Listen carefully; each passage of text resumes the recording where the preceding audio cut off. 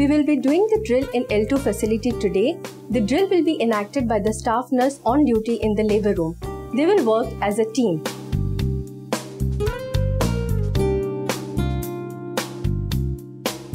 I, as a facilitator, will be keenly observing the drill and based on the assessment of the team about the mother, I will be giving prompts.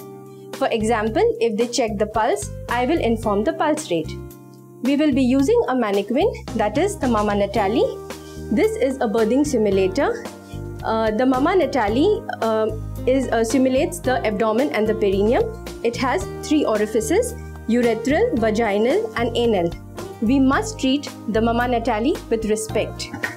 The drill will be completed once the patient has stabilized and has to be referred to the higher center for further management. Let us start. At maternity home Shakurpur, one of the patients, Jyoti, a G1P0 at 39 weeks and uncomplicated pregnancy,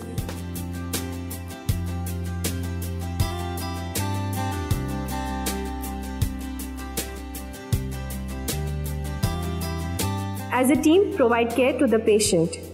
Jyoti, Jyoti. Jyoti is drowsy. Sister Sunita, Sister Neelam, जल्दी आइए patient bleed कर रही है pulse BP check करिए sister Sunita Uterus is soft up to the umbilicus.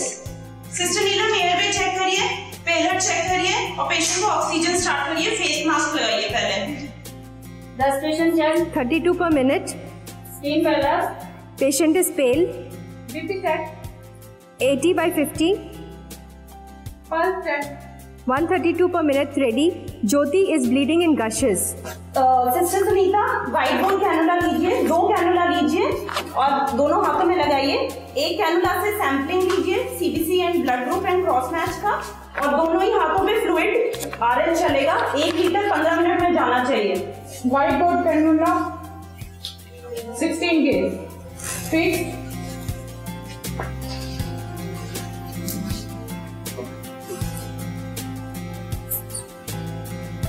RL running drip started sister Sunita आप इस drip में 20 unit oxytocin add कर दीजिए। Wide bore cannula 18 number fix sample taken BGCM and CBC with blood group Injection oxytocin 20 international unit 60 drops per minute. मैं patient को catheter डालने लगी हूँ। BP check again. Systolic 90. Sister Neelam आप जल्दी से संजय गांधी फ़ोन लगाइए और वहाँ बताइए कि ऐसे पेशेंट को पीपीएच हो रहा है ब्लड अवेलेबल है कि नहीं और स्पेशलिस्ट अवेलेबल है कि नहीं आप बात करके बताइए। जी। हेलो संजय गांधी हॉस्पिटल हाँ मैं मैटरनिटी स्कूलपुर से बोल रहे हैं। मेरे यहाँ एक पेशेंट का पीपीएच में चला गया उसके पास रेफर करना है फॉर ब्लड ट्रांसफ्यूजन के लिए। आप ज्योति के साथ हैं? देखो ज्योति को खून बहुत ज़्यादा गया पर हम उसको मैनेज कर रहे हैं। अब सिस्टर सुनीता मेरे पास आइए मुझे चेक करना है कि कहीं और कोई इंजरी तो नहीं है वेजाइना पेरिनियम में। आप स्पेकुलम पकड़िए मैं सर्विक्स और वेजाइना एक्सप्लोर करने लगी हूँ। ज्योति ठीक हो cervix vagina perineum exploration done No perineal or cervical tear. एक बार प्लेसेंटा चेक कर रही हूँ। प्लेसेंटा कंप्लीट है पेशेंट का। Placenta intact. Uterus is still soft. Bleeding PV continues. Sister ji हमें सेकंड लाइन न्यूट्रोटोनिक देने होंगे। सिस्टर नीलम आप पेशेंट को 800 माइक्रोग्राम लीडोप्रॉस सबलिंगुअली दीजिए। सिस्टर नीता आप प्रोस्पेडिन लोड करिए और इंजेक्शन प्रोस्पेडिन 250 माइक्रोग्राम इंट्रामस्कुलरली दीजिए। इंजेक्शन प्रोस्टेटिक मैं फ्रिज से लेकर आती हूँ। ज्योति मुँह खोलो। जीभ उठाओ। Carboprost upper and outer quadrant में डी पाइम 250 mg मैंने दे दिया। सिस्टर जी आप इंजेक्शन फेनेक्सा भी रेडी करके रखिए इन केस हमें ज़रूरत पड़ी। Bleeding PV still continues. ज्योति मैं आपको अंदर से हाथ डाल के एक बार चेक करने वाली हूँ। थोड़ा सा दर्द होगा प्लीज़ मेरे साथ कोऑपरेट करिएगा हो इंजेक्शन ट्रेनेट से ready starting with the bimanual uterine compression uterine compression done Uterus has now contracted. Sister Neelam एक बार जाइए एंबुलेंस का पता करिए रेडी है कि नहीं और अटेंडेंट से बात करिए उन्हें बता दीजिए कि किसी को खून धूमधाम करना पड़ेगा और हम बड़े अस्पताल मरीज़ को भेज रहे हैं। देखो मैंने जैसे आपको पहले ही बताया था कि ज्योति को खून बहुत ज़्यादा जा रहा है। वो हमने मैनेज तो कर दिया हो सकता है अभी इसको खून की ज़रूरत पड़ेगी। तो इस चीज़ के लिए हम उसको बड़े अस्पताल भेज रहे हैं। तो आपको दो डोनर अरेंज करने पड़ेंगे जिनको आप पहले ही अस्पताल भिजवा दीजिए। अच्छा बच्चे के साथ कौन रहेगा? अच्छा दादी ठीक है आप बच्चे को को रखो हम माँ को भेज रहे हैं। सिस्टर सुनीता यहाँ रेफरल रजिस्टर है उसमें एंट्री करिए और एक रेफरल शीट बनाइए जिसमें हमने पेशेंट को जो जो भी ड्रग्स दिए हैं टाइमिंग के साथ नोट कर लीजिए और आप भी पेशेंट के साथ एंबुलेंस में जाएँगी।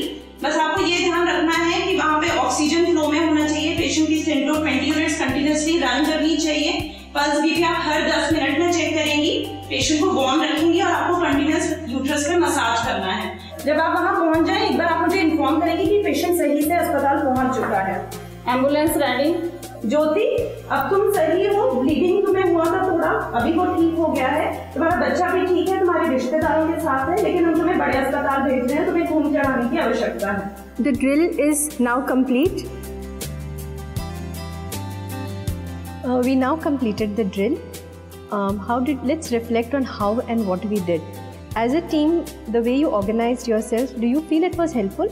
Yeah, it was helpful because all of us uh, knew the part what we have to do. So I think it went pretty well.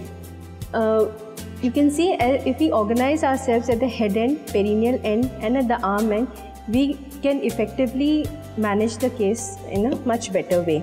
Uh, Jyoti came in shock. So how did you manage her? We uh, we used white ball needle. Okay. And we, for rapid infusion. and we started the IV fluids. It's just that in first 15 minutes we have to give one liter of crystalloids, and in the another one hour then we have to give another one liter of crystalloids. Uh, adequate replacement of fluids is very important. So we must remember that for every 1 ml of blood that is lost, we have to give 3 ml of fluid. And use of crystalloids is very important. Uh, when the patient stabilized, uh, uh, Jyoti, you had to refer her. So what all did you do for uh, referral? Call for the ambulance and call for a higher center. It is important that when you inform the hospital, you tell the patient's blood group and also you tell uh, the estimated time of arrival.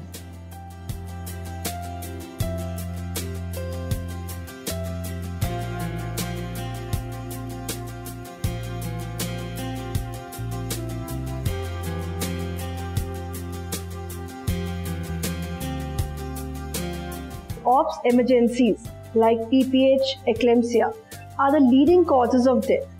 They can occur in any patients in any facility.